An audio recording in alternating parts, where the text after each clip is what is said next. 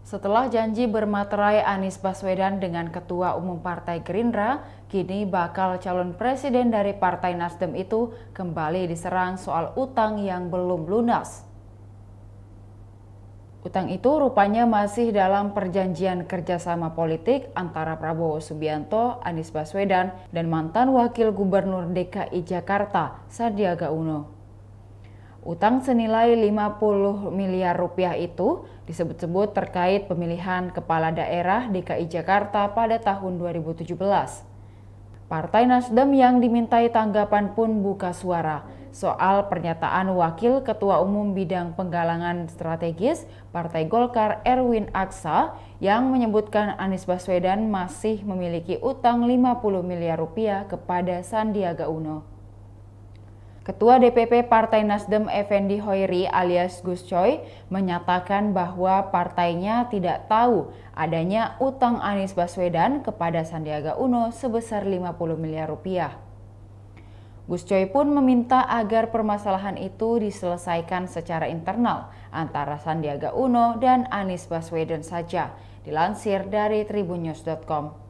Lebih lanjut, Gus Coy menuturkan isu tersebut dipastikan tak menyurutkan Partai Nasdem untuk mengusung Anies Baswedan menjadi Capres 2024. Diberitakan sebelumnya, Wakil Ketua Umum Bidang Penggalangan Strategis Partai Golkar, Erwin Aksa, mengatakan Anies Baswedan masih memiliki utang sekitar 50 miliar rupiah kepada Sandiaga Uno. Erwin menyebut utang itu terkait pemilihan kepala daerah DKI Jakarta pada tahun 2017.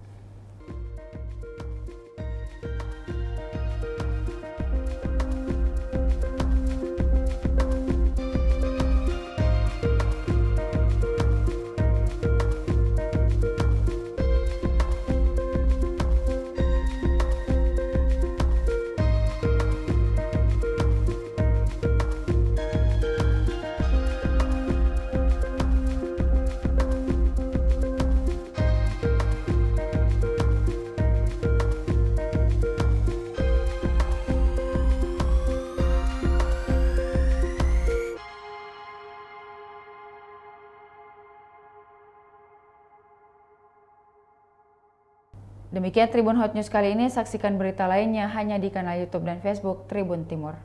Terima kasih sudah nonton. Jangan lupa like, subscribe, dan share ya.